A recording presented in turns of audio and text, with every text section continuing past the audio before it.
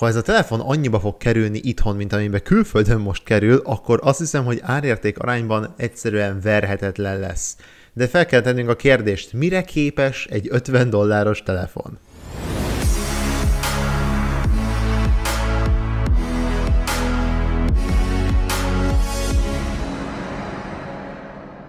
A MyPhone Prime 18.9 a nevéből adódóan egy 18.9-es kijelzővel érkezik. Ez egy 480p-s panel, valamit, amit utoljára a HomeTom csodában találtunk. A színei nem annyira rosszak, de nyilván azért nem dob tőle hátast az ember. A lényeg, látom, amit látnom kell és ha már láthatóság, a telefon megjelenése nagyon kis szemrevaló, szép a dizájn, és a hátlap leszedhető, alatta a kiszedhető akkumulátor, kettő színfoglalat, és a microSD kártyás bővítési lehetőség az alap 16 GB-os tárhelyen felül.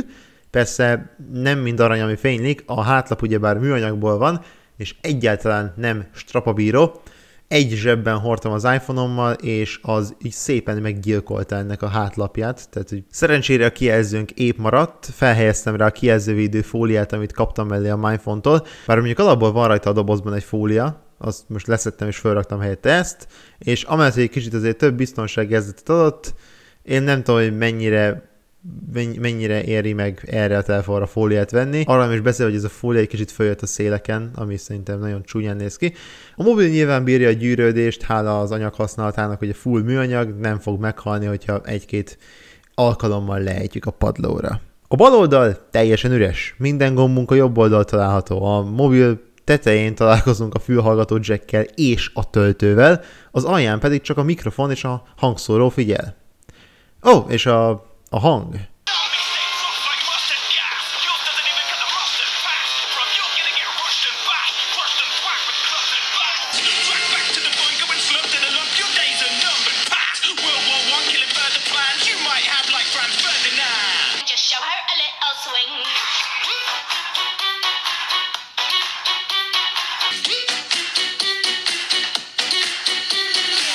Hát az uh, rossz.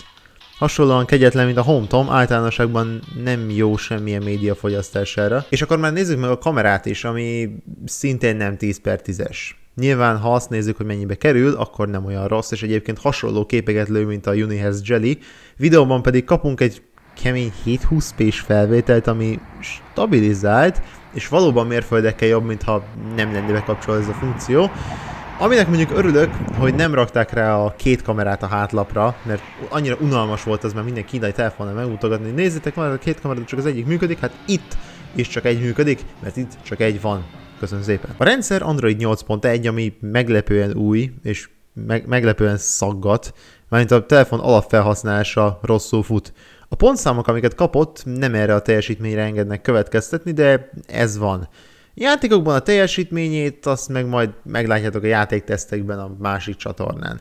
Linkot lesz a leírásban. A mobil olyan bónuszokkal érkezik, mint a 4G támogatás, ami meglehetősen drága egyébként behelyezni a telefonokba, csak mindenki alapnak veszi manapság, illetve a hátlapi új lenyomatolvasó és az arcfelismerés és feloldás mindegyikre igaz, hogy nem túl gyors, de tökéletesen működik. Alapjában véve a telefon eléggé eh, de ez nyilván mondom én, aki hozzászokottabb, drágább telefonokhoz. Láthatom, hogy vannak olyanok, akiknek ez a telefon egy értelmes vásárlás lesz, mivel jóval olcsóbb, mint a HomeTom volt egyébként, mégsem rosszabb, sőt egy-két szempontból jobb is, mint az. Gyerekeknek ilyen első telefonnak, fesztiválokra második telefonnak, vagy munkába járós, nem vigyázok rá, fonnak tökéletes lehet. Csak ne legyen drágább, mint külföldön, mire megérkezik ide a hazai piacra, és akkor galantát lesz ilyen téren a sikere. Más szempontból nem túl jó telefon, de mit is várunk ennyi pénzért. Igazán van? Döntsétek el magatoknak. Köszönöm szépen a iPhone-nak a telefont, nektek a figyelmet, létek jók! You have a new message.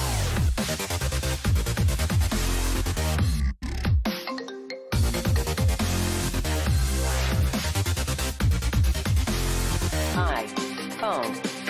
No. Remix.